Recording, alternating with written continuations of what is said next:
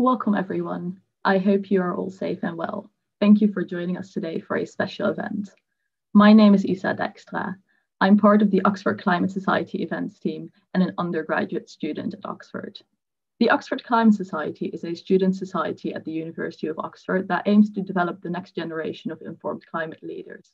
In addition to our speaker events, we run edu educational programs throughout the year, including our award-winning School of Climate Change, which taught over 1,500 people from all over the world last term.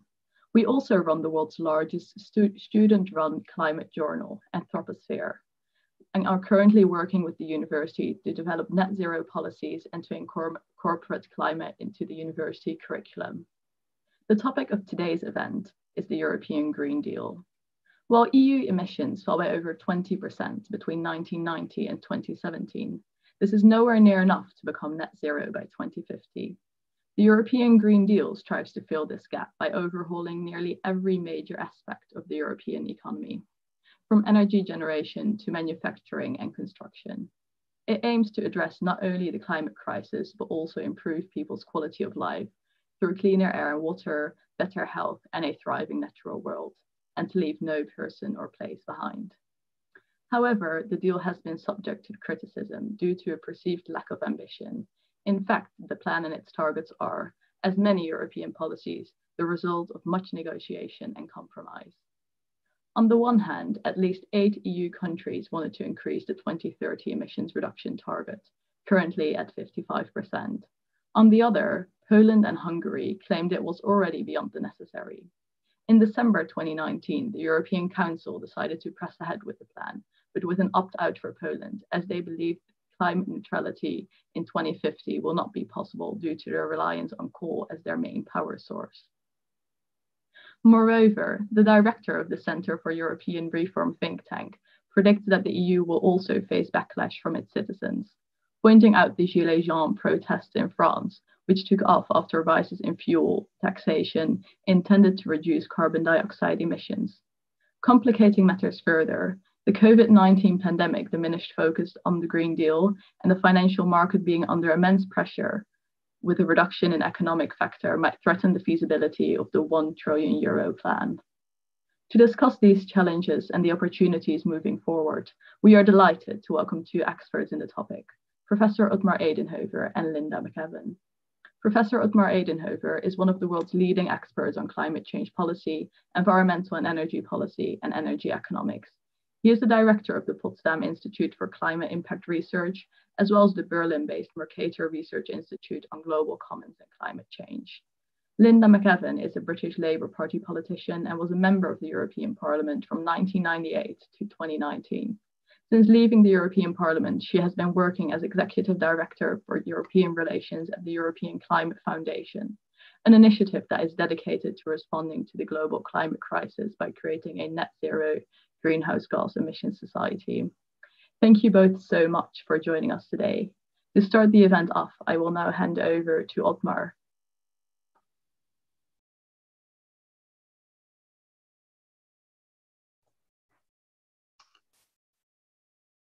Now, can you, can you see my screen? Yes, I can see it.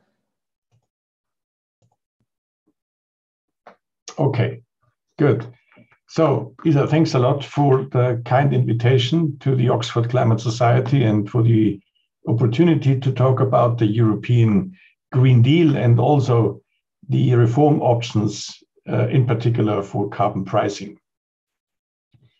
Now, in her State of the Union speech in, in 2020, uh, Ursula von der Leyen announced a new climate target for 2030.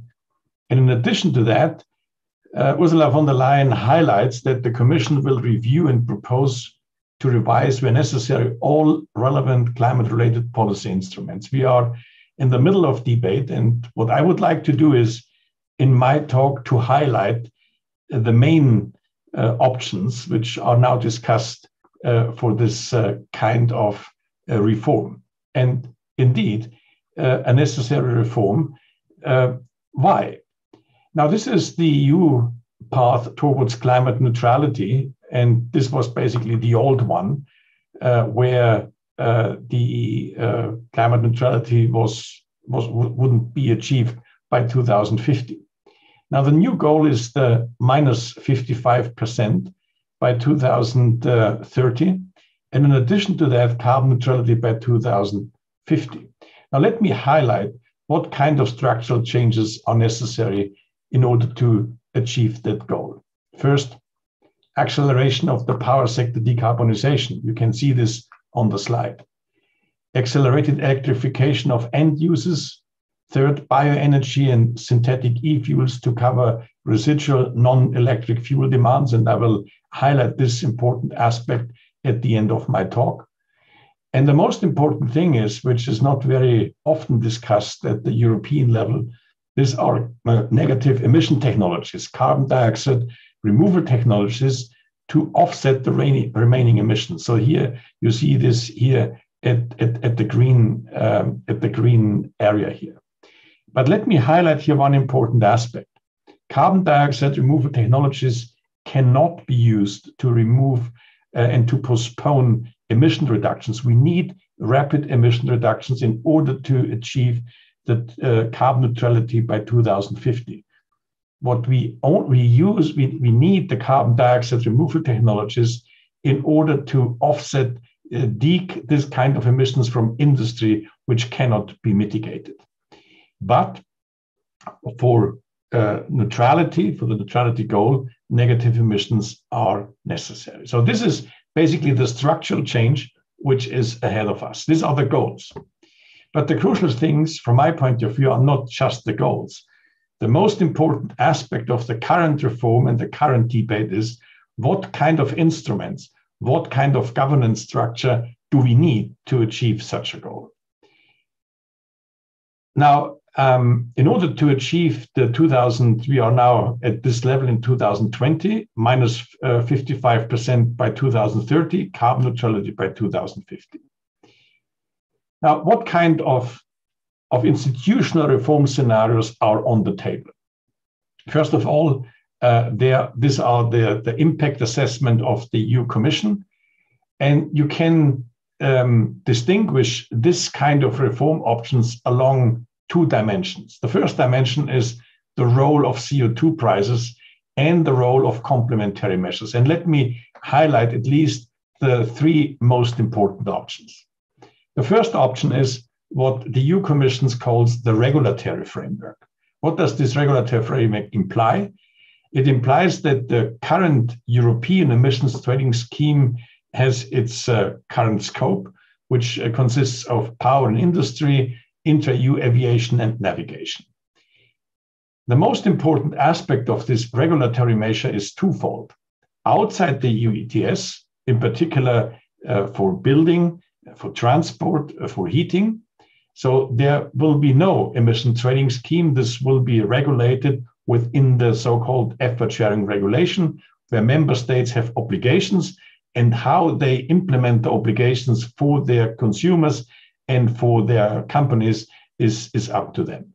And there are uh, a lot of complementary measures, energy, energy efficiency policies, renewable energy policies, and in the transport sector, the uh, technology and the performance standards. So this is one extreme. The other extreme is the C price scenario. The C price scenario uh, um, um, would imply that we have one consistent European emissions trading scheme, which does not only consist of power and industry and intra-EU aviation and navigation, but consists also of road transport and buildings. The most important aspect of the C price scenario, and you see this is a, a quite radical scenario, there are no additional complementary measures, no additional uh, uh, energy efficiency policies, no additional renewable energy policies, and basically no technology standards. Of course, if you want to promote as a politician a third scenario, create uh, two extreme scenarios, then you can advocate a, a, a more uh, moderate scenario. This is called the mixed scenario. The mixed scenario shares with the C price scenario uh, the scope of the current emissions trading scheme, but it uh, relies much more on uh, complementary policies for energy efficiency, renewables, and so on. Now, these are the options which are on the table, and I would like to explain you a little bit more what does this, this imply uh, for, um, for the decarbonization pathways. In order to do this, um, I provide you a preliminary assessment of the marginal abatement costs, the costs uh, of abatement of emission reduction in the different sectors. And we calculated this with uh, a long-term uh, model. And I start to explain you uh, the, the implications uh, for the uh, marginal abatement cost curve in the CO2 price for the old minus 40% scenario. Given the current division of labor between the uh, ETU, the, the, the EU ETS system and the so-called effort sharing regulation sectors, which are basically transport, heating, and, and building, and to a certain extent, agriculture. So this means, uh, given the division of labor, minus 30% for the effort sharing regulation and minus 43% for the ETS. And this would have an implication on, on, on costs and prices uh, in the current ETS system, we would see a price between 30 to 60 euros per ton CO2. In the effort sharing regulation, we would see marginal abatement costs between 100 uh, to 200 euros per ton CO2. Why is this such a range of CO2 prices? It's about uncertainty. It's about the use of multiple models with different approaches and multiple calculations with different values for uncertain, in particular, uh, policy and technology parameters. Now we calculated basically, and this is this is consistent what uh, basically other institutions in Germany, like the environmental ministries and the economic ministry, has calculated. But now let me talk about the implications of the new minus, uh, 55% by 2030. In order to assess these scenarios, uh, we we have to distinguish the following uh, it's the division of labor between the two sectors. So I provide you first the two scenarios, and then I try to evaluate the political feasibility of the two scenarios. The first scenario is that the division of labor is consistent with the additional uh, reduction like the current split. So it's it's basically an, a proportional reduction given the current split between uh, uh power, the power sector and the industry sector on one on the one hand, and the transport, the building, and the heating sector on the other hand. So this is an implication, a strong implication, and the strong implication is we would see uh, in the ETS sector a reduction of minus 63%, and in the effort sharing regulation sector a reduction of 45%. But this comes uh, literally with a price. And there's a huge differential between the marginal abatement cost curves with between these two sectors. We will see in the ETS uh, uh, prices between 80 to 150 euros per ton CO2. Outside the sectors, in the other sectors, uh, uh, costs between 350 to 500 euros per ton CO2. This is one scenario, and obviously it's not a cost-effective scenario because in a cost-effective scenario we would see a convergence of the prices, and uh, for the sake of uh, comprehensiveness, we calculated this additional uh, reduction scenario. And we come up so roughly with the same prices across the two sectors. But the problem with that is a political one. If we would reduce the emissions according to, uh, to cost efficiency, this would imply that the current ETS sector, power sector, and uh, industry would have to reduce their emissions by 80% uh, by, by 80%, which is enormous. And the effort sharing regulation sector only with 30%. Why? Because the marginal abatement cost curves in the other sectors are so much higher, as I have you shown here. However, and this should be very clear, that the cost efficient scenario, which might be promoted by economists, is absolutely rejected by the industry and the lobby groups at the national scale, at least in Germany, and also in, in, in other EU member states, but in particular also at the European level. So this is very unlikely that this scenario uh, will be implemented. It is much more likely that we will see the other scenario where we have a, a, a, a let's say a, a fair division of labor across the sectors. But this will come with the price, and the price is a huge differential in mitigation costs, which is politically very, very demanding. Okay, so that's uh, that's something which which I would like to highlight, and in the assumption here is that the rest of the world is also pursuing a two degree or a well below two degree uh, scenario. But this has, has comes comes also with some distributional challenges uh, of uh, such a uniform ETS for the member states because we see disproportionately high burden of a, such a uniform carbon price or tax for households, in particular in the eastern member states, and there are larger differences between then within the countries and large differences with income groups. So compensation measures are required compensation measures are required, whatever you do, because our goal is so ambitious that low income household need some kind of compensation. And I, I want to show here this with an example from Germany, uh, which, which seems to me is, uh, in that sense, uh, a quite telling one. First of all, here you see the quintiles uh, across the households, the poorest 20% and the richest 20%. And if you Im- impose a carbon price roughly around 45 euros per ton CO2, and in Germany, we are very close to impose this in the transport building and in the heating sector, then you can see that this kind of carbon pricing scheme is quite regressive. So the poorest household have to, to, to pay and have to, to be a, a relatively high burden. If you use the carbon revenues to recycle them to all the households on an equal per capita manner. So it is quite obvious that this carbon price pricing scheme becomes very progressive. So there's a net benefit for the poorest households. Why? Because their uh, proportion, the, the share uh, they they use for transport and for heating on their income is quite high. So in that sense, when you when when you pay back um, this on an equal per capita manner. So you can see they have a huge benefit, and you can transform this quite regressive carbon pricing into a very progressive scheme. Unfortunately, we haven't taken this path in Germany. What we did is we have reduced the electricity price and have increased uh, the social transfers a bit. So this has then reduced the burden for the poorest households, and the whole thing becomes a little bit more progressive but compared with the equal per capita recycling, it's it's it's not regressive enough. Now, what, are, what is now at, at the stake at the European level, and nobody knows what exactly will happen.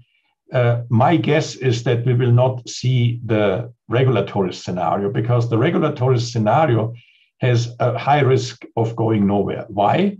Because this is just the current um, uh, the current uh, effort sharing regulation, which imposes some obligations on member states, but it is very unclear what will happen if member states will not fulfill their obligations.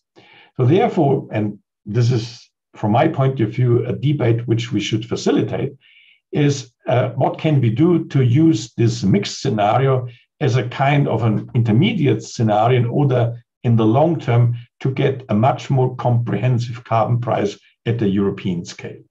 You might think, okay, this is this typical academic idea, a uniform carbon price promoted by economists, but completely uh, uh, unrealistic uh, at, at the European scale. And I would like to make now first, uh, hopefully, to convince you how this intermediate step could look like. And at the end, I will argue that the, in the long term, a uniform carbon price is necessary in order to achieve a, a climate neutrality by the mid of century. Now, this is where we are today. We have an ETS system and we have the effort sharing regulation for transport and building. And this is what we might achieve in the future. So, for, as an immediate step, we basically see two options. I see two options. The first one is just to bring both aspects together in one intermediate step uh, in one ETS, which brings the, the effort sharing regulation scheme into the system as a kind of an initial endowment of emissions. But this will come with a very high price. And the high price is that uh, the power sector and the industry sector has to reduce the emissions at an unprecedented scale. This will not be accepted uh, by the lobby groups and also not accepted uh, by, by the politicians. So, an immediate step could be, and this is discussed at the European level, that we may, might have two emission trading schemes one for energy and industry, and the other one for transport and building. And both are separated. They will have uh, two different prices, but over time, so we might allow them gradually that these prices could, could converge. And in the end, we might end up with a, a, a market uh, scheme, which, on the one hand, allows us to achieve carbon neutrality because of, of the cap. And secondly, uh, a price which sends a signal uh, to the consumers, uh, to the investors, to the companies at the European level. So you might say, okay, why is this so necessary? Why, why, why one price? Is it really necessary because we then achieve carbon efficiency? Is this really the case? Um, yes, this is the case, but but I, I find from another angle it much more important to think about the uh, carbon pricing scheme. And I apologize that I bother you at the end of my presentation with a very complicated uh, uh, uh, uh graph. But it seems to me it is an important one because the message here, which I would like to convey, is that uh, for the transformation pathways at the European level, we have two fundamental strategies in our energy system. The first one is direct electrification. And there is no doubt that if we want to transform the, the transport sector, the heating sector, direct electrification is a very important option. However, direct electrification in all the sectors is even not possible. And therefore, we should think about indirect electrification, where we use uh, the renewable electricity uh, to, uh, to, to produce uh, green hydrogen and we need the green hydrogen to produce e fuels. And here comes my message. If you want to e fuels, you need CO2.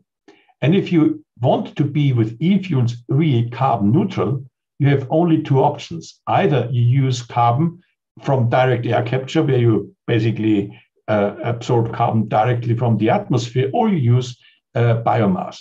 What you cannot do is you cannot use you cannot use uh, CO2 from burning fossil fuels. So, and this is the reason, this is a very, very complex value chain. And in order to, to, to make this complicated value chain happen, you need a carbon price because only carbon prices incentivizes uh, a, situa- uh, a, a structure of the value chain which does no longer allow to use fossil fuels to produce e-fuels. Do we need e-fuels in the long run? I think there is a, lot of strange and misleading talks about the hydrogen because there are definitely sectors where direct electrification is significantly cheaper than e-fuels. And this is, for example, the case for uh, a passenger light road and, and so on. There, there's a huge sectors, uh, light duty vehicles, where direct electrification is much cheaper. So then you have a, um, uh, a second sector where direct electrification and e-fuels are at similar costs. So heavy duty transport is an, is an example. But then you have a third sector which is impossible to electrify, like aviation, shipping, chemical feedstocks, primary steel. But these sectors have also to be decarbonized if we want to achieve carbon neutrality. Hydrogen is a scarce resource, and we have to manage that we use uh, hydrogen and e-fuels in the sectors where they have the largest economic value. And this is the reason why I believe in the long run, we need this kind of carbon pricing schemes, because otherwise we cannot incentivize uh, this complex uh, value chain towards carbon neutrality. So the, the, bad message is, the good message is in the long run, we can achieve this, that the e-fuels will be by the mid of the century in the range of the gasoline prices today. But there's a, a long road to go. And therefore, we need an immense continuous public support required with subsidies. And at the same time, we need increasing CO2 prices in order uh, to facilitate this chain. And again, what I said at the very beginning, we need negative emissions. So, and this is very much related to the debate on carbon neutrality. Now, let me conclude with my presentation. I think there is now a reform opportunity within the EU because of its ambitious targets and the regulatory efforts. I think in the long run, we need a comprehensive carbon price reform at all levels, albeit institutionally demanding, but it is a worthwhile endeavor. I would say it is even necessary. A dialogue between policymakers and experts is needed. Experts need uh, to map out possible pathways and also to check the political feasibility with the stakeholders. But carbon pricing sends a clear signal that we want to transform our economies uh, into a carbon neutral economy. And this involves a lot of sectors. And I highlighted some of them transport, heating, and building, where hydrogen and partially e fuels uh, will play an imp- important role. I think this is a fascinating opportunity, uh, but I hope that the Commission uh, is now courage, courageous enough uh, to come up with a reform proposal which is not only ambitious in terms of targets, but it is also ambitious in terms of policy instruments and governance structures. Thanks a lot.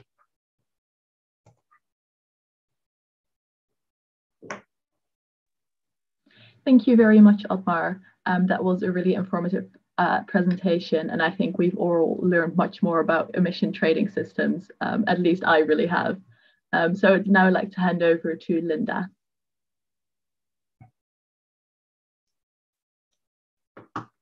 Sorry, Linda, you're still on mute. The perennial Zoom problem, being muted. Um, well, we heard there about some of the big policy issues that, that are on the table at the moment in Brussels, in, in national capitals, in the European Parliament, about how we're going to decarbonize and reach this new um, net zero minus 55 target. But um, and I thought what I would do to complement that that very excellent presentation of, of the carbon pricing debate is to talk about the politics of the Green Deal because these these decisions on which path we go will be taken by politicians in the in the coming months and i wanted to start by reminding us that the eu green deal is a political project. It was born out of politics. And whether or not it's successful and how ambitious it is will depend as well on the politics of europe. And um, and and this year is pivotal actually in 2021 because it's the year when the green deal is going to land really in uh, with policymakers.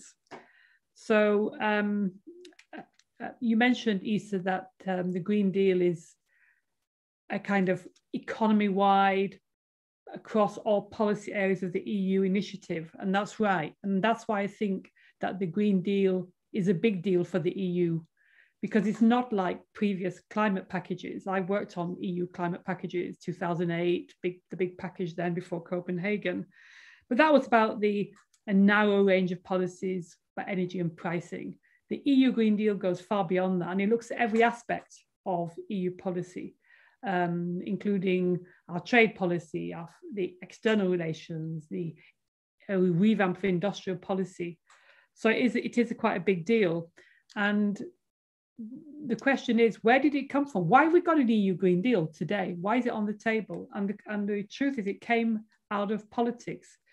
And we have to go back to the start of this current EU cycle to understand where it came from.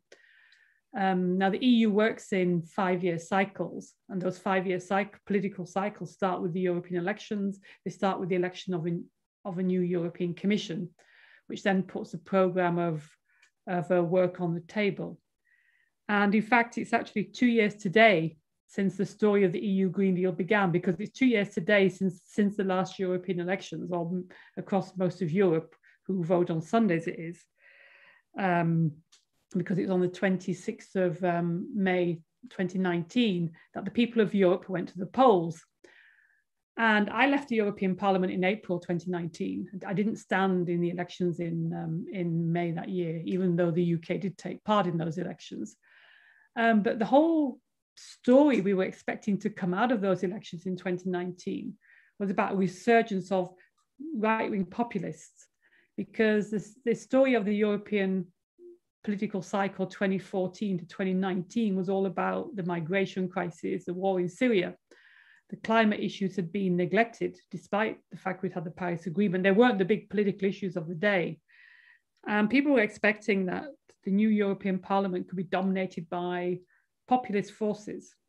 But what happened when people went to the polls was something a bit different. What we saw instead was the highest turnout in European, European elections for 20 years. It's still 51%, it's still high for secondary elections in the country. And we saw that a lot of young people voted and they voted for green parties. And it, it, led to a green wave. And that green wave changed the composition of the European Parliament.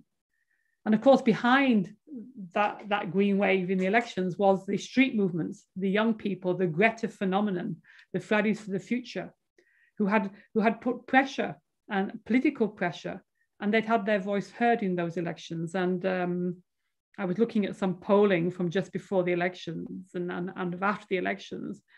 And in Germany, 48% of people said that climate was one of the key motivators behind their political choice in 2019. And 77% said it was one of the top factors in how they voted. So, um, so although the populist right-wing parties haven't gone away, and I'm very mindful of France and, and what's happening with right-wing populism, the outcome of the election was to change the traditional balance in the European Parliament um, and, and give make the the the usual the the mainstream party the EPP the biggest conservative parties they lost ground. The Greens gained ground. The new the new centre party uh, called uh, Renew of Emmanuel Emmanuel Macron um, also gained a lot of ground and that created a bigger majority in the European Parliament for green politics. And why is that important in terms of the Green Deal? It's because the European Parliament has can use it, the power that it has when the new European Commission is appointed to demand policy change.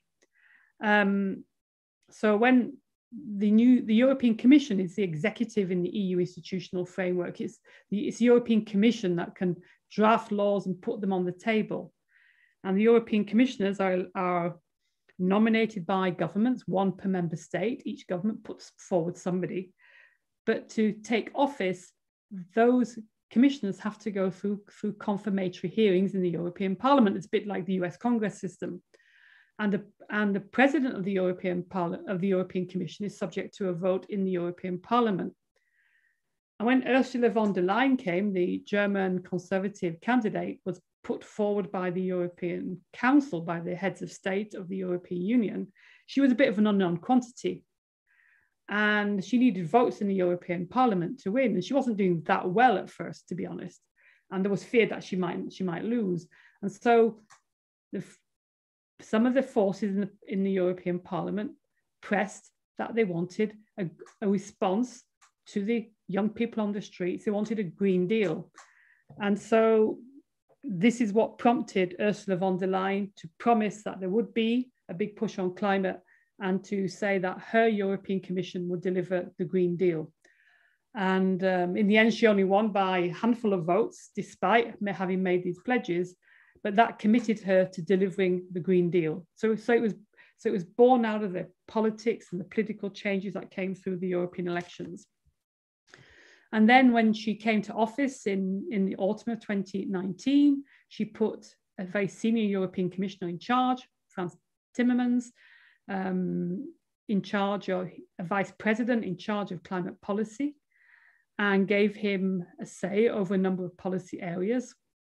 Um, and they and every commissioner, whatever portfolio, was given was told they had to respect the Sustainable Development Goals of the United Nations and work on the Green Deal. Um, there was pressure to reopen the, the, the European institutions had only closed the package of legislation around the 2030 climate targets in 2018. And people never imagined in 2019 that we'd reopen the package we'd just closed. But in fact, that push, that green push, meant that in 2019, Ursula von der Leyen said they would look again at the climate targets. And that's why we have the, the new target of minus 55% that um, Ottmar Edenhofer just told us about. And that meant that every piece of mainstream climate legislation has now to be reopened because they were all set to deliver minus 40%, and now they have to deliver minus 55%. And the Green Deal also made the promise and has as its objective to align every other aspect of EU policymaking with Paris and, and the climate goals. So, for example, the common agricultural policy is, is are happening at the moment, actually. Big, big fights in Brussels about it. Align our trade policy, align our industrial policy with the Green Deal. So, and it's actually at this, it's now, today, that um, this is coming to fruition because in July, on the, on the 14th of July, on Bastille Day, the European Commission will put on the table what's called the Fit for 55 package of legislation, which will deliver those cuts in emissions that uh, we've been talking about. So before, so I'm going to say something in a minute about what happens next, what happens when these laws come on the table and, and whether or not they will actually become laws because they only they'll only be draft laws from the European Commission and will they be adopted? Will they be watered down? Will they be ambitious? But I thought I'd just say something because I was asked to say a little bit before I do that about the effect of the COVID pandemic on the Green Deal. Um, and um, because, of course, I talked about this process of the European Commission coming up with this deal and they announced the package in December 2019. And we all know what happened two months later when the COVID crisis started to, um, started to appear. Um, and there was a fear at that time, in the beginning of 2020, that the COVID crisis, deep economic crisis and health crisis could derail the Green Deal um, in, I was involved in climate legislation in 2008 in the run up to the Copenhagen summit. And, and I think it, we did lose momentum because of the economic crash in 2008 on climate. We kept the show on the road in the end, and, and credit to those who did that, but we didn't make the kind of drive we could have done. Um, but um, in terms of the COVID crisis, my deep fears was that governments wouldn't be interested anymore in climate, but they haven't. That hasn't happened. And in fact, what's come out of the COVID crisis is a decision by the European institutions to push for what what what you know the, the campaign for building back better. And again, that was something which people have campaigned for. That we should learn the lessons from the COVID crisis about how nature can take an unexpected turn. And so the European Commission has put on the table an EU recovery plan. It's um, a big financial plan of 750 billion euros. And it's a, it's a plan of grants and loans to EU, which is available to all EU countries. It's pretty unprecedented because the EU is leveraging its budget to borrow money on financial markets something people thought would never happen in the past. So, so this money is on the table, and, and at the moment, countries across the Europe, the 27 member states, are preparing their recovery plans, and they have to submit those recovery plans to Brussels. And the and there are conditions for those recovery plans, and one of them is something which climate campaigners fought for, which is that a proportion of that money for, for the economic recovery of Europe post, post COVID will be spent on um, climate climate action. So in getting in investment in the kind of technologies we need and the transformations we need to to to to get to um, net zero, and also at the same time the creation of a special fund, a just transition fund, for regions which are experiencing um, job losses because of economic because of the economic problems in because of the carbon trans the low carbon transition. So the so the so the requirement is that 37% of the funding should go on on climate action, and quite importantly as well, the remainder of the funding must must be for do no harm. It must not harm the low carbon transition. And there's a lot of debate about that because there's people, there's big argument about gas going on. Is can gas be seen as a transition fuel from coal? Because coal dominates in some countries, particularly in Central and Eastern Europe, and should should be investing in gas. And um, my own view is that we have enough gas infrastructure. We don't need new gas infrastructure. So we shouldn't be putting money into gas. And so there's so we're trying to push that we transform how, how investment decisions are made. And um, the European Commission will be scrutinizing those different um, investment plans um, before the money can be released. And if anybody's interested, there are trackers available um, which are looking at these plans and, and um, one is by the Wuppertal Institute and E3G. They're looking at, they're analyzing all these different plans. So that's happening as well. So we have these post-COVID recovery plans, uh, which also have a, a very strong climate dimension, which are on the table at the moment. But back to the Green Deal, what happens next? So I, I mentioned that um, the legislation, the European Commission is drafting the legislation um, one piece of legislation is already agreed. It's very important. It's the European climate law. It's um, it, put, it puts into European law the net zero 2050 target. The UK has a climate law. The UK was one of the first countries to have a climate law, to have a climate budget, and to and we um, that's been put into a binding target in British law. And the, U, the EU has now followed suit and put targets into law.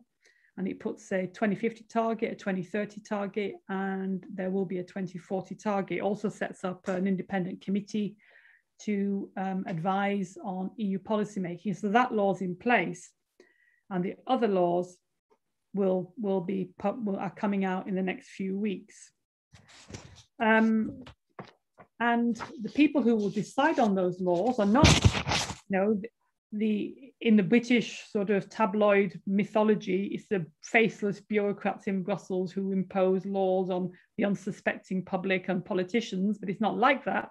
The people who will decide on those laws are politicians. The European Commission can only draft laws, but, but it's ministers from each country, from the 27 member states, and members of the European Parliament who will decide on those laws in the process called co-decision. And so that means that the draft laws can be open to change and there'll be a huge debate in, in the next 18 months or so.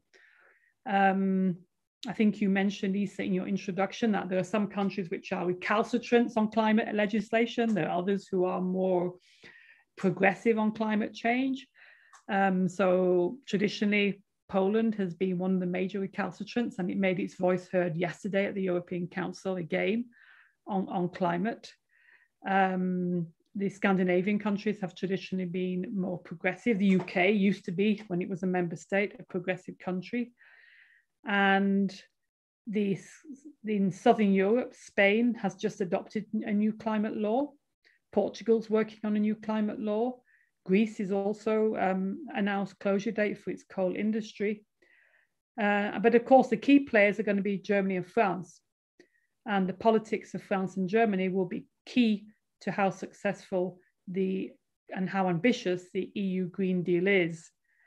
Um, I, am always having an eminent German here. It's, it's, it's, I feel a bit, you know, nervous talking about German politics.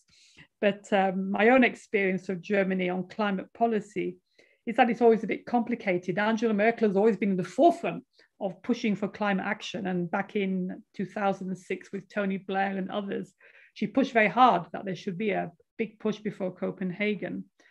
But in reality, on the ground, the foot soldiers of in from German industry in particular were some of the ones holding back on the climate ambition. And so uh, things have changed in Germany in the last few months. There are elections, of course, in Germany, federal elections in September. And there is a surge in Green support. And at the moment, the Green Party is breathing down the neck of the CDU and CSU um, the Social Democrats, I mean, I, I am a former Labour politician and very close to the German Social Democrats, but they are plateauing their votes, plateauing. And the two front runners for, for the elections are the Greens and the and the and the CDU, the CSU. So that's changing German politics. And there was a very important court case a couple of weeks ago where the German courts ruled that the German climate law was not ambitious enough and not in line with Paris and asked the government to reopen the climate law, which it very quickly did and um, has now set a new climate target for 2030 of 65% emission reductions. And um, and is making a very real shift in policies. I mean, there's been a major, another major court decision today. I don't know if people are aware, where the Dutch courts have just ruled that uh, Royal Dutch Shell has to change its its own internal company policy to reduce its emissions. And we're seeing, if you look across Europe at the moment, a whole a whole raft of legal decisions in courts saying where governments have signed up to Paris, they should deliver on Paris. And that's a new, ang- a new interesting angle of what's happening on climate legis- climate law across the whole of the EU. So in Germany, things are hotting up as the elections um, come in September. In France, President Macron is also under pressure on climate. Um, he's caught between populist forces, and you mentioned the Gilets jaunes, and of course that has been um, an issue in France. He was stung by that, um, and as a result of that, and the result of pressure again from the green side of politics, President Macron has had a citizens' assembly, and citizens' assembly has pushed to have a French climate law. And so we all see movement in France as well. France has presidential elections next May and will hold the presidency of the EU um, at the beginning of 2022. And that will be key because the presidency on the EU also um, plays an important role in the driving the legislative process in the um, EU legislative framework. So the so you, the governments on the one side are divided, um, but the European Parliament also has its say on the laws. And in the European Parliament, you've got MEPs from 27 different countries, different political persuasions. Um, there'll be different sensitivities on, on different subjects. Um, there's there's big fights about the role of biomass at the moment, and Nordic countries have a different position. They're the progressives on climate, but people say they're not so progressive when it comes to biomass compared with other countries. So, so inside the European Parliament, um, where majorities have to be found for the legislation, it is going. There are going to be some interesting discussions, and just for those who I don't know how many how you follow the how the EU process works, but there cannot be a European piece of legislation unless the MEPs and the ministers agree the legislation. So those two parts of the process have to make an agreement. So that's going to be happening. And so the laws are coming on the table in, in the next few weeks. They, and that will take about 18 months to conclude. And there's one very important aspect of the debate at the moment, which was absent, I think, in previous discussions on big climate packages like this one, and that's the social considerations, the impact on pricing. And uh, we, we heard about that actually, and I was very grateful to, to Ottmar Edenhofer for showing us the impacts on prices because in the past, when we were talking about cutting our emissions by 20%, even 30, even 40%, it was companies who were being asked to make the cuts. Now we're asking, we're going to ask um, the public the potential that we're looking at how people heat their homes, the prices affecting them, the cost of driving cars. And so there's a lot more sensitivity about the social costs. And I think if we are going to find the solutions on climate, we have to find ones which are fair, where the costs of the transition are, are, are, are borne fairly across society, and where compensatory mechanisms are put in place. So maybe I'll stop there. I could say more about the global things, but I'm watching the clock. And um, there's many more questions we could ask about the role of, I mean, Europe is important. It's only 9% of emissions, but it's an important global player. We have got the COP coming up. And if we can't get the Green Deal right in Europe, in which has been working on this for many, many years, it's hard to see which in which part of the globe we could make a major advance. So maybe I'll stop there and take questions to your discussion. Thank you.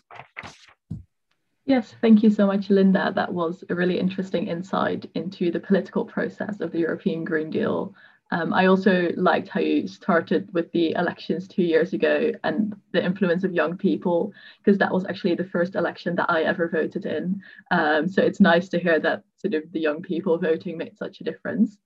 Um, so then I'll now move on to the questions I have.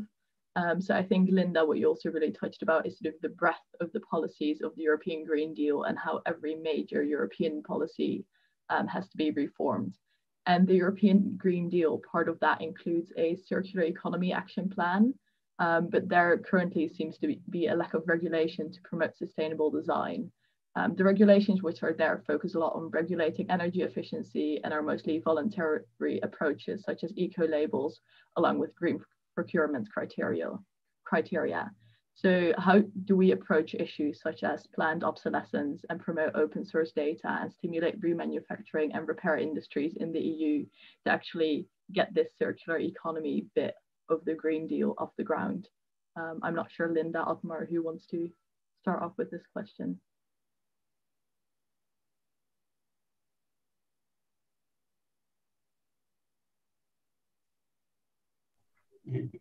Then then I I, I, I, try to start. Um, these are ma many questions, but uh, um, circular economy is is, is definitely an, an important option. But a circular economy has also implications for prices with without an increase of resource prices. So um, uh, the circular economy uh, will not happen. And and that the problem is what, what concerns me to be honest is is a, little bit the following. And linda highlighted this um, if you if you talk and and linda uh, forgive me that I, I, I blame your profession a bit but then you in turn you can uh, then blame my profession also. But when I, I talk to politicians it's it's very easy for them to say oh let's do carbon neutrality by 2050 and if you say why, why not why not five years earlier? Say, okay, five years earlier. But at the same time, when you present them, what are the, the costs, the marginal abatement cost curves with all the uncertainty, but it's it's very clear that we have to pay a bill which is above 100 euros per ton CO2 over the next few years. And then politicians respond immediately, oh, no, no, we, we cannot afford this. And this is, from my point of view, the deep inconsistency that people talk about all sorts of goals, but when it comes to the means, uh, so people become very reluctant to, to, to implement them. And, and this worries me. And, and Linda highlighted one thing which I basically didn't touch in my presentation. This is uh, the, the current uh, decision of the Supreme Court in Germany. And the Supreme Court decision, the, the, the, the main the, the, the main implication of the Supreme Court decision is not so much that Germany has to become domestically more important.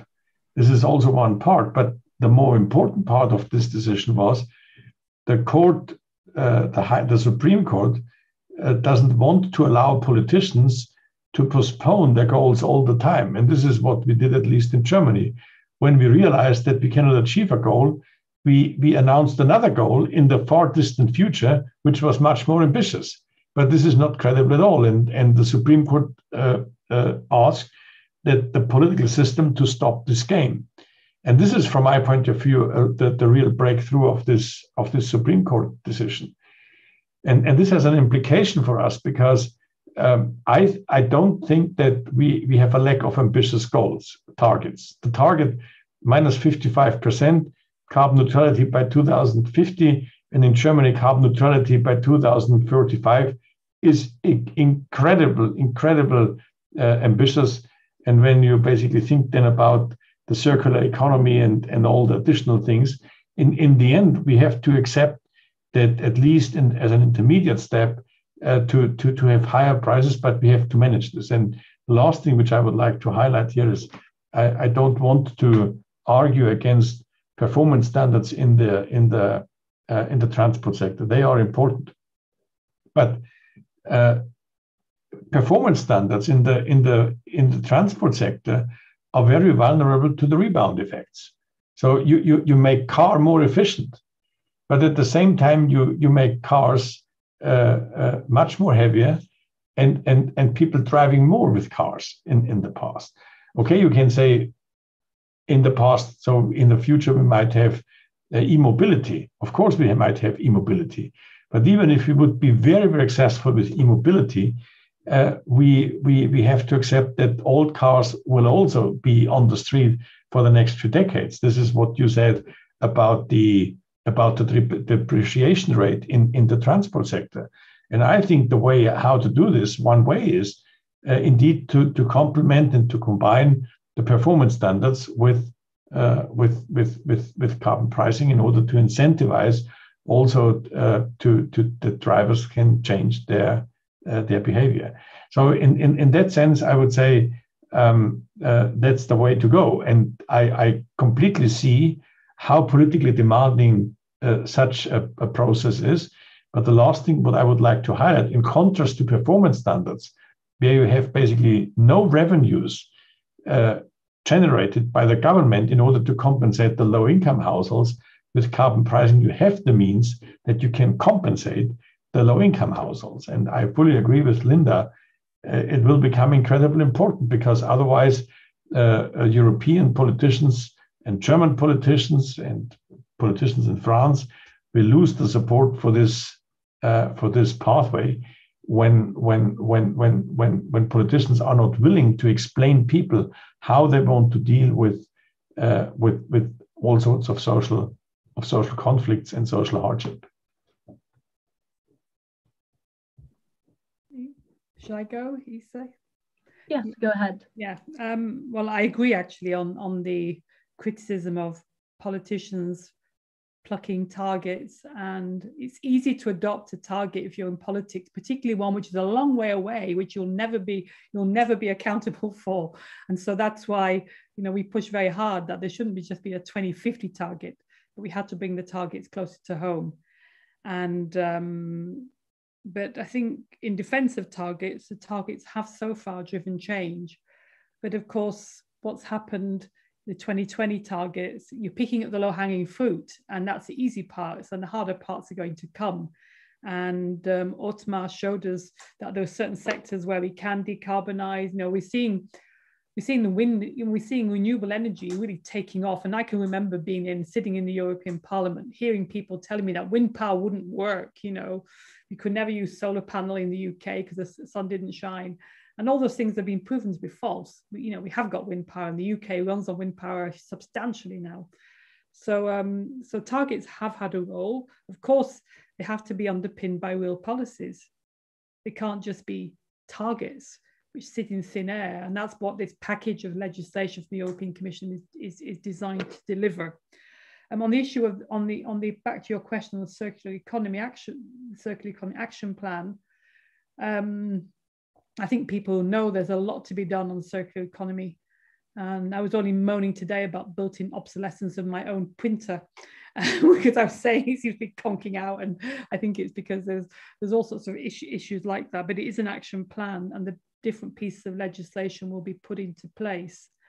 And um, and again, each piece of legislation will have to be fought for, and people have to argue for them. So um, you know, and we have to prioritize. I'm not an expert on, on, on the circular economy action, action plan, but it's certainly a part, part of the whole, whole debate. We know that if we want to, for example, you know, we want to have electrification of vehicles, we need rare earth, we need to recycle more, we, can, we have to be much more cautious of the planet as a whole.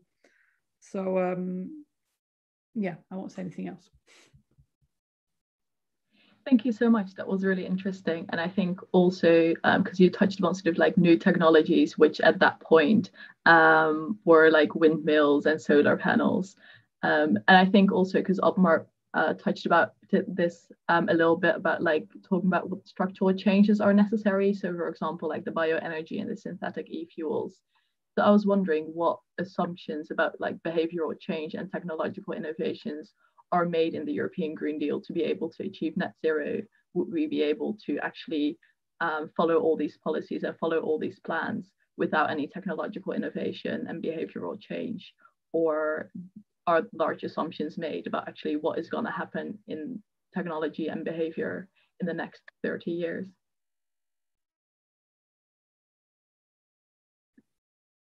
Well, I think um, on the behavior side, I mean, it's been there is a debate, a, a, real live debate, which I hear every day between those. I mean, Ursula von der Leyen put it on the table and called it the new European growth strategy. Um, and then there are other people who say we don't need economic growth. You know, we need we need to use less of the planet. We need to be could you know we need to be slowing down consumption etc so there's, there's a kind of a debate about about uh, on those issues um i think the i don't know i suppose I, I don't know i don't know i mean can I, I have a colleague who's working on aviation fuels and this is in its infancy the whole debate about you know will we fly you know people are saying people shouldn't fly and we have you know Greta Thunberg, she, she's not flying, but my own personal view is that you, you, you don't march technology backwards. People will want to fly and we have to find solutions to how they fly and, and the technology. So we need, of course, we need to invest in new technologies. That's what we've done as, as you know, throughout history. We found new technologies, we found solutions. Yes, we can travel less. Maybe we were talking just before we came into the discussion now about how we you know i'm working at home i'm managing a team across europe on zoom and you know I, I don't have to travel every week like i used to and i don't think i would ever go back to doing that. And i think i read this afternoon that the european commission is going to reduce its office space in central brussels by 50% by 2020 by the end of the decade. So i think we are going to see behavioral behavioral changes um, coming out of different societal trends. Um, but um, I don't think in the 2030 sort of scenarios, big, big personal changes are, are foreseen. But to get to 2050, I think we're going to have to have new technologies. And some of the technologies, and I'm sure Ottmar knows more than I do, particularly about the end of that. You showed the hydrogen, the three levels where we can electrify, where it's harder or it's cost neutral. But then the last bit, the last part, how do you have a chemicals industry? Without with, without um, fossil fuels, etc. That is hard. So yet we're going to have to make technological breakthroughs to resolve those problems, and we have to start investing now. And part of the Green Deal is actually to create platforms, research platforms, to get those technologies in place. Because, uh, you know, we, we're going to have to have steel. We cannot manage without certain technology, without certain things. Yeah, so so on on on the behavioral side, um, of course, there is uh, a lot of behavioral changes are needed, but it seems to me that that uh, first of all, I don't see a contradiction between behavioral change and and innovation. Both are needed, and and without innovation, I don't think this is not a credible plan. If you say we do not should not care about uh, innovation, we just want to rely on behavioral change, and then we can be carbon neutral. And COVID is a very good experiment, right? So we have reduced now uh, last year uh, due to COVID uh, the emissions, we have reduced them to the level of 2006. This is not good enough. Behavioral change is not simply not good enough. We need behavioral change, but for me, behavioral change, uh, you need you need the, the right framework for behavioral change. That's important. And most people do not appreciate how behavioral change and intrinsic motivation work together, uh, for example, with economic incentives. Most people think that economic incentives destroy intrinsic motivations, destroy the, the willingness of people to contribute uh, uh, voluntarily uh, to emission reduction. Together with a colleague of mine, we he carried out very interesting and very interesting experiments with students. And it turns out that when people realize in admittedly in an experimental setting that they are confronted with the carbon price, the voluntary abatement, the voluntary emission reduction has been increased and why was this the case? It was the case that everybody observed that all the others uh, changed their behavior. All the others are reducing emissions, so that I also do this. And if, if people realize I reduce emissions, but the others are doing not, so at least you create an incentive, or you might say a temptation, that people stop uh, to, to, to, to contribute voluntarily uh, to that. So, from my point of view, it is very, very important to understand that incentives can very work, uh, very, very uh, can work together and can be aligned to the intrinsic motivations of, of, of people. That that's very, very important. and and and and this kind of behavioral change is is very desirable other kinds of behavioral change so uh, for example if you want to understand the carbon content of a, of a product in the supermarket. It, it is it is from my point of view absolutely impossible to figure out what's the carbon content. So you, you, you want from my point of view the prices should tell you the ecological truth. If you go to the supermarket uh, products which are carbon free should be very cheap and the other product should be much more expensive. And and and, and this kind of, of change i think has to be has to be communicated. And and when alternatives are available for people or available to people i think this is something which which can be done. And we see this in in many regions where where this kind of schemes have been introduced when it was communicated well when people understood that this this incentivizes also a change in behavior and a change in innovation.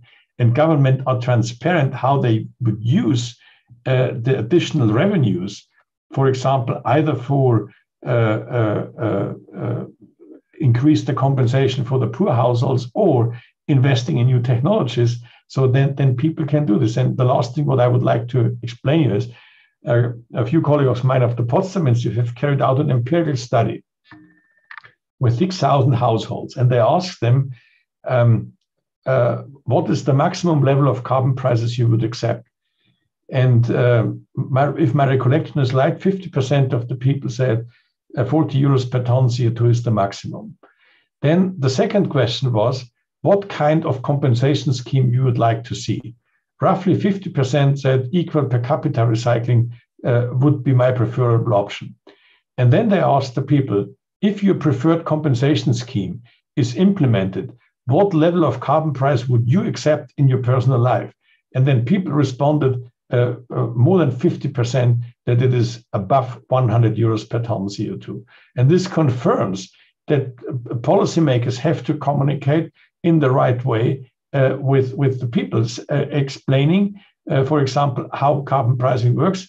Secondly, that there is a compensation and then when the compensation is credibly implemented, so then people will also expect then higher prices. And this seems to me this is something which which has to con- has to convey it much more proactively in the public's in the public's uh, in the public's uh, square. Thank you so much. And that last example, I think, was also really illustrative of how um, actually like carbon prices can go hand in hand with behavioral change and that money is indeed an important part of it. Um, then I wanted to move on to a topic that you also both touched upon um, in your speeches, which is about sort of environmental justice and making sure that like everyone is rightly compensated. So besides sort of the um, it, like having to be price-wise equally distributed, a large issue of climate change is also that climate change itself impacts different places differently. So, for example, in Europe, the Mediterranean region, for example, is uh, likely to suffer uh, large water shortages quite soon um, within this millennium. So, I was uh, I wanted to ask both of you, um, both in terms of financial compensation and sort of climate adaptation measures that help more vulnerable member states. Do you think the European Green Deal is doing enough um, in terms of environmental justice? Ottmar, would you like to start off? Um, yeah, so, so, that's an important issue, but but uh, if you allow me, I, I would like to highlight an, an important aspect uh, for the for the Green Deal. Um, one aspect which worries me really is, and, and this is a little bit related to the the, the COP in, in, in Glasgow. What really worries me, if if you look at the at the recovery plans outside Europe, in particular in the smaller uh, Southeast Asian countries like Vietnam, Indonesia, uh, Bangladesh, and a few others. They have a lot of investments in coal-fired plants uh, in, in, in, their recovery plans. So fortunately, so some countries start to, to rethink their investments. But this is a huge, a huge challenge. It's not only that China and uh, India is investing in coal, it's that in particular the smaller Southeast Asian countries are investing in coal to an extent which in the end could lead to a situation where the, the Paris targets, the well below two degree target, are no longer feasible. So in that sense, we, we, can, we should not only talk about Europe, and particularly when we talk about environmental justice, we have to talk, uh, and we should start in, in, in, Glasgow to talk about a global coal phase out, because uh, for the next five years, this is the biggest issue. And therefore, I would like to see uh, the uh, Europe, the EU, uh, to come up with a plan where basically uh, the smaller Asian states are supported when they phase out coal, and in turn, well, like uh, uh, uh, uh, cheapest loans or, or direct investment subsidies for, for the upfront capital costs for renewables, uh, I would like to see basically then uh, this kind of scheme that these countries should accept either the transformation of the energy sector or a relatively high carbon price. I think this is something Europe should also invest part of its political capital to do something on the international scale. And, and the time is, is now ripe. And, and I would say it's a, a window of opportunity because United States has also accepted uh, to achieve carbon neutrality by 2050. Uh, I'm not so convinced that this plan is completely realistic, but at least they have announced this. And then we should we should coordinate with Europe uh, together uh, that we, we, we, we can achieve something at, at, at an international scale. And this has a lot to do with climate justice because the smaller states, the poorer states, they might they cannot afford fully the uh, the transformation of the energy system, and we should give them support. And it's in our own interest because if they get support, so then in the end they will contribute to the global public good of, of, of climate protection. So this is not directly an answer to your questions uh, in Europe, but it seems to me it's an important answer regarding climate justice in, a, in uh, beyond Europe. Yes, definitely. I do agree that that is a very important issue. Linda, what are your thoughts on that? Sorry, you're unmuted again. Yeah, sorry. Um, I think that last point is a, is a really important one because um, you know we have this very important climate talks coming up. And it needs to be there has to be something in it for everybody.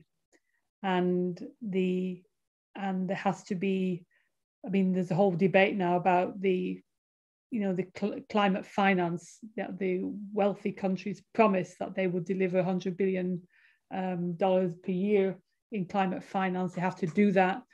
And they also have we have to be very careful that we don't get back into stale debates about climate change to benefit the richer countries against the poorer countries because um, we know that poor, you know, they, it is a global phenomenon. I mean, one thing we should have learned from the pandemic actually is that when problems arise in one part of the globe, they very quickly can affect everybody.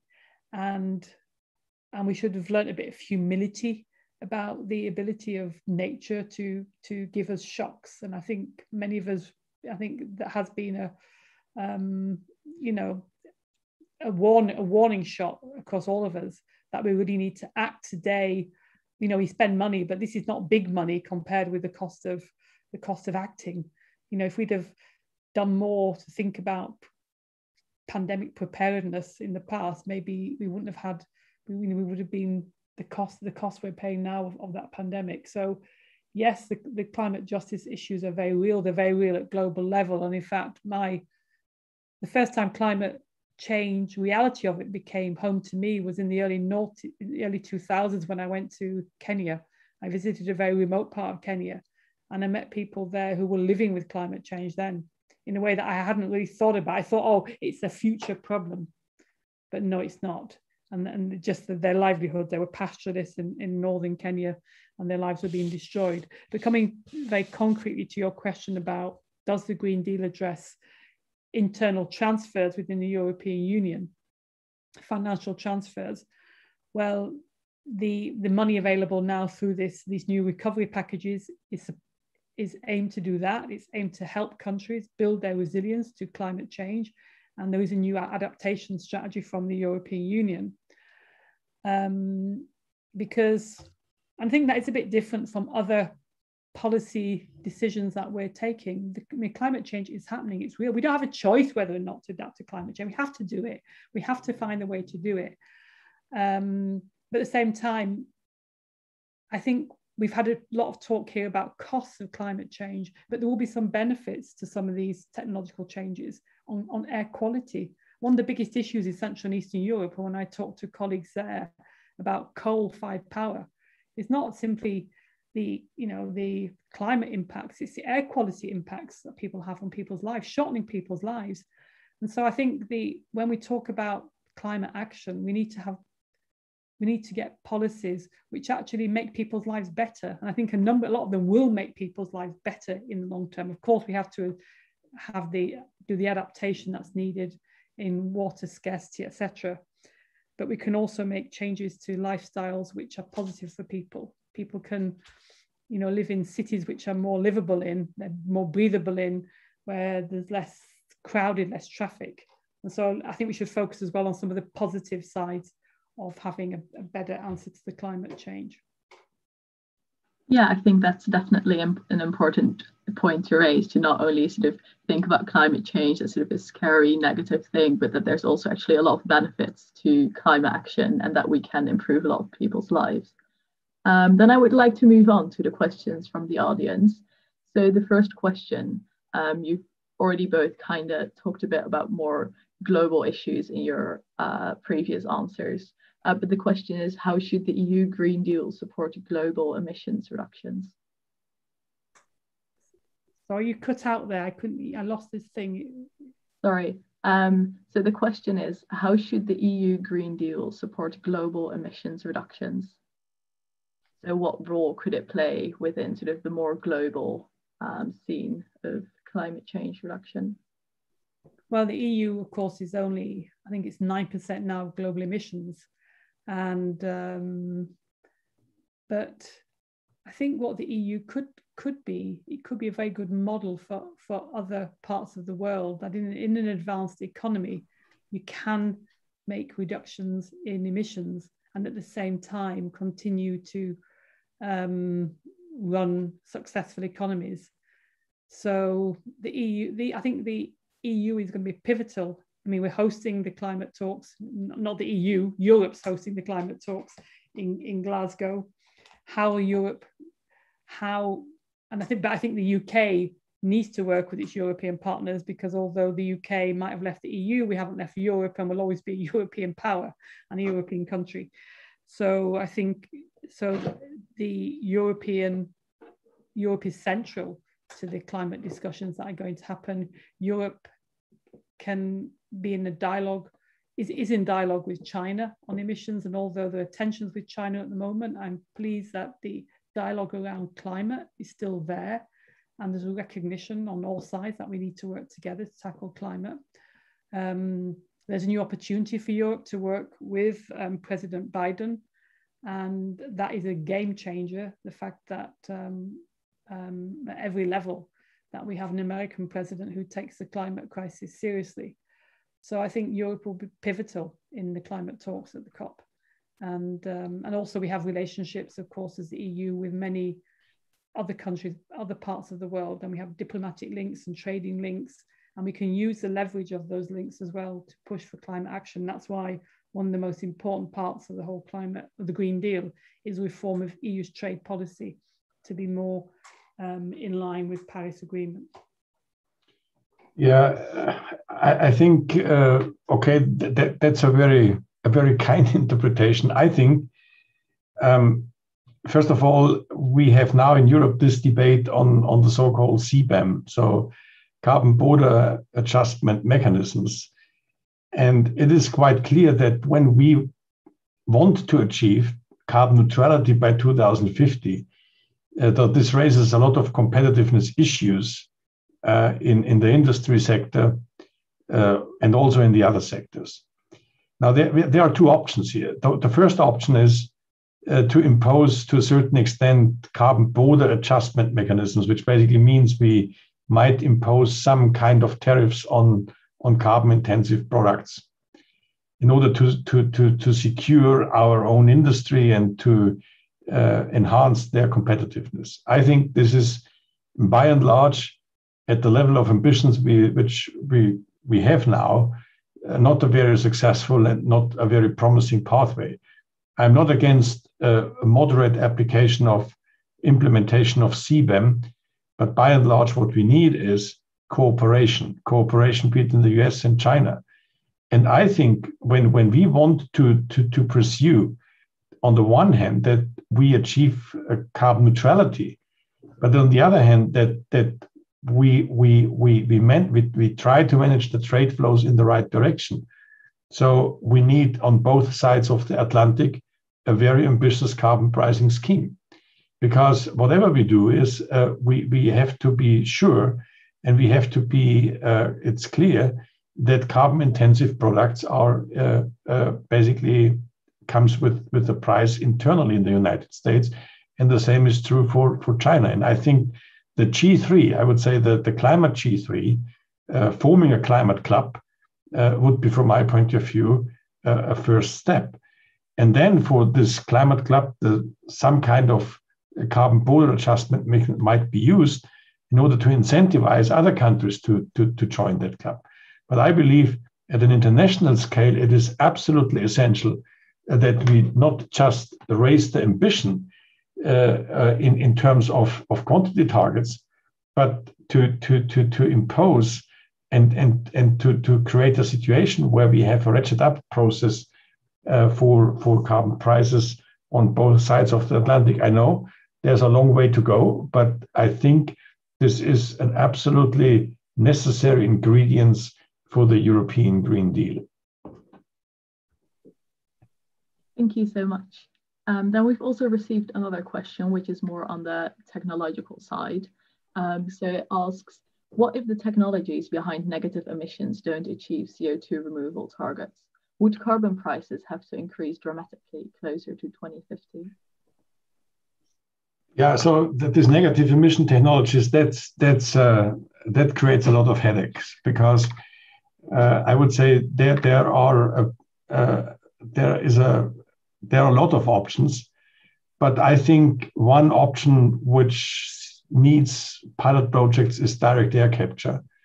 Uh, that seems to me is an important one because I don't believe that the large scale use of biomass and burning biomass and then uh, uh, capture the CO2 and, and, and store it uh, in geological undergrounds is, is the most promising um, the, the most promising option.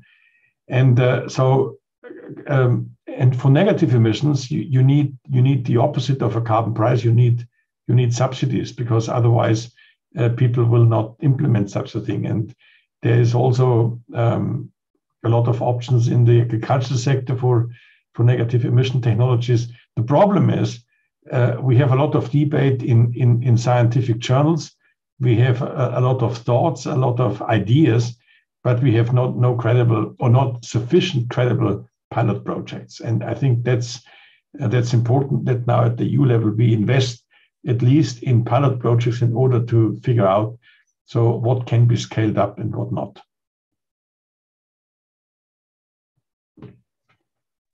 Thank you. Linda, do you have any views well, on that? Just just a quick word to add. I mean, some of the, these technologies don't exist yet. We don't know whether they can work. And um, that's why it's very important that we don't use the promise of future technology. And I think Ottmar said this in his opening remarks, not to act now. That's the most important thing, that we have to act now because in the past I was involved in discussions around carbon capture and storage for the power sector in the late um, 2000s. And in fact, we don't need, we didn't need to be, you know, that would have been not a good investment because we can get we can use renewables. So you can go down the wrong pathway. And sometimes people push these future solutions technological solutions in a, in a way to dampen down the ambition for now. So i think no. if, if, these happen um, no, no, but but this, this, I think we have this this debate should we should stop this debate because, of course, there is absolutely this promise of a future technology uh, cannot be used to, to, to, to stop emissions now. However, we need negative emissions if we even if we will be very successful. And here we need pilot projects. And I, I wouldn't say this technology does not exist. There are a few pilot projects for direct air capture, but it's it's it's, it's a scaling up issue. And and we need, by the way, these technologies also for the e-fuels. So we, we cannot allow that for the e-fuels we use CO2 uh, uh, caused by burning fossil fuels. This is not the carbon neutral pathway. And, and, and, and for that, we, we, we have to speed up. And, and this cannot be an excuse not to reduce emissions now. So this should be crystal clear. Uh, but, but there, is a, a, there is a sector where it is very hard, uh, based on our current technological knowledge, uh, to, to, to, to reduce emissions. These emissions have to be compensated. It might be the case that in the future we have different technologies, but, but this is something which, which we, we, we, we need uh, more research and development, and we need, uh, we need pilot project without, without uh, uh, relaxing our ambition now.